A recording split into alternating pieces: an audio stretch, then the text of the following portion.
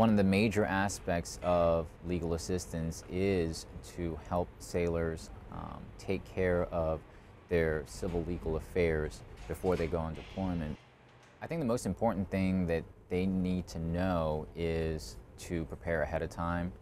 um, to get all their affairs in order, especially if they have families, if they need to get a will draft, anything, if there are any significant assets that they, they have left behind when they are going on deployment, they probably need to get a power of attorney um, so that someone back home can take care of those assets for them while they're gone. If they don't take care of those issues ahead of time,